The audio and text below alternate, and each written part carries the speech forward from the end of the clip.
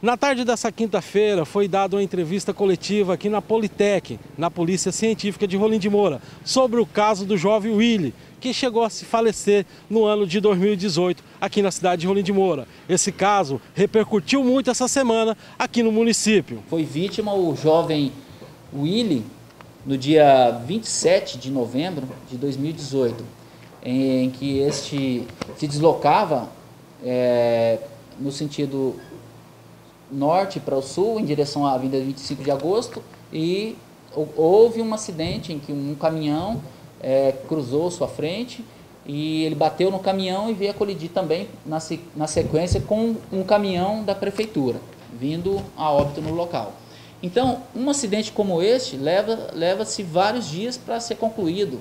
É um trabalho altamente técnico desenvolvido pela Coordenadoria Regional de Criminalística de Rolim de Moura, em que nós entregaremos à autoridade policial na manhã do dia 24, amanhã. Então, nós queremos trazer esse esclarecimento à população de que se trata realmente de, de um trabalho de alta competência do perito criminal que esteve no local, doutor Jutaí, e da equipe que lá esteve com ele. Quero ressaltar que esse laudo foi produzido pelo doutor Jutaí porque é, a equipe de plantão se encontrava atendendo uma outra morte é, no, é, em Parecis, né? uma, uma morte em que uma pessoa sofreu uma eletrocução lá e veio a óbito no local. E o perito de plantão foi acionado e se deslocou para lá. E o perito Jutaí, nós não possuímos é, perito de, de sobreaviso aqui. O perito Jutaí se encontrava aqui na, na base, fora do seu como já disse, fora do, do, do, seu horário de trabalho, na sua folga, desempenhando os seus trabalhos. E de boa vontade, quando foi acionado a, a delegacia, né, nos acionou, a Irene estava aqui também. Prontamente, os dois, na sua folga, se deslocaram até lá, né, sem ter a obrigação de ir lá, deslocaram até lá e fizeram os levantamentos periciais, é, os quais agora são materializados nesse laudo pericial aqui que será entregue ao delegado pela manhã. Adeildo frisou na coletiva a dificuldade que a Politec enfrenta para trabalhar com falta de material aqui na regional.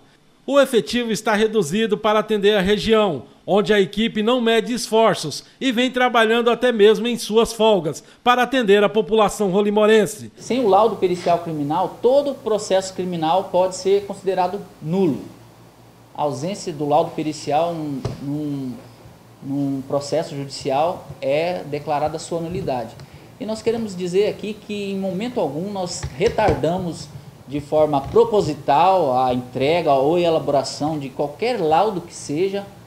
E às vezes a, a, a demora na entrega de um laudo se dá justamente por isso, porque nós temos uma área extremamente grande um número reduzido de servidores. A ordem de prioridade, é, nós estabelecemos essa ordem de prioridade para fim de otimizar realmente a produção de laudos que realmente importam né, é, a, a, sua feitura.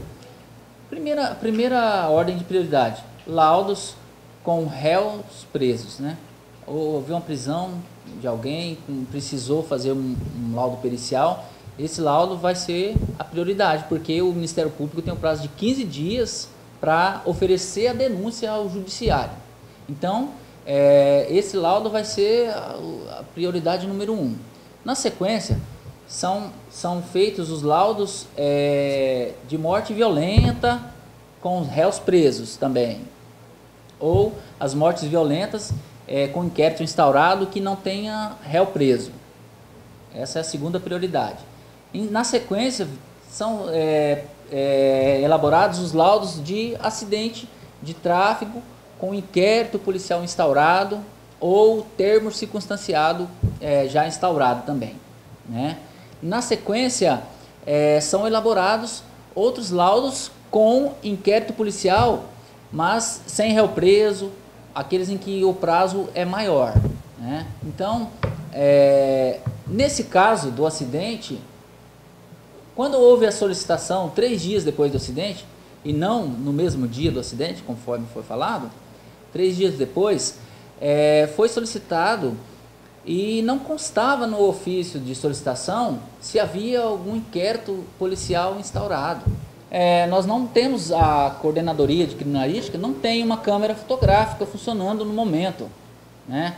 Inclusive, foi solicitado ao, ao, ao judiciário hoje, é, em caráter de urgência, é, o fornecimento de uma câmera com base na, na, nas penas pecuniárias e que eles aplicam lá nos crimes de menor potencial ofensivo, para que suprisse essa necessidade da criminalística. Fui lá pessoalmente, através de um projeto que a Ana Pelói elaborou, fomos pessoalmente e deixamos lá na, com o pessoal do, do judiciário e, e, esperamos que o judiciário nos atenda nesse, nesse pleito aí da nossa é, câmera fotográfica. Um equipamento tão básico para a perícia criminal que é materializar os vestígios deixados na, na cena de crime. A Coordenadoria de Criminalística de Rolim de Moura é um órgão integrante da Superintendência da Politec, que tem oito, oito coordenadorias em Vilhena, Cacoal, Rolim de Moura, São Miguel, Jaru, Ariquemes, Guajaramirim e os, os outros órgãos é, da capital.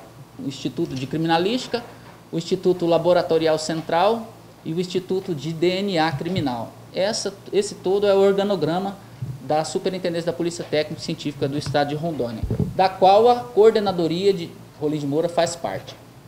Então, o que eu quero enfatizar hoje, hoje aqui é sobre a situação funcional da, da, da Coordenadoria de Criminalística de Rolim de Moura, que possui nos seus quadros apenas quatro peritos criminais. A Organização das Nações Unidas ela diz que é, deve haver um perito para cada 5 mil habitantes. Né? E a nossa regional de criminalística aqui abrange os seguintes municípios: Nova Brasilândia, Rolim de Moura, Santa Luzia, Alta Floresta, Alto Alegre, Parecis, Novo Horizonte e todos os distritos que, que tem nesse, nessa região.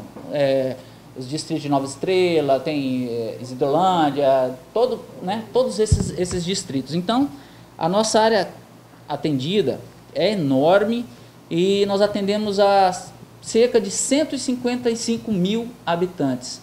Ou seja, se for dividir 155 mil por 5 mil, nós teríamos que ter um número muito maior de servidores aqui, de peritos criminais e de agências criminalísticas. Né? Apesar de toda essa, essa, essa gama de trabalhos aí que chega para a coordenadoria de Rolim de Moura, nós temos desempenhado um, um trabalho que eu considero de excelência aqui, porque é, temos uma estatística aqui que a Ana Pelói produziu para nós, desde o começo do ano até agora, até ontem, é, foram, foram recebidas 753 requisições de laudos periciais.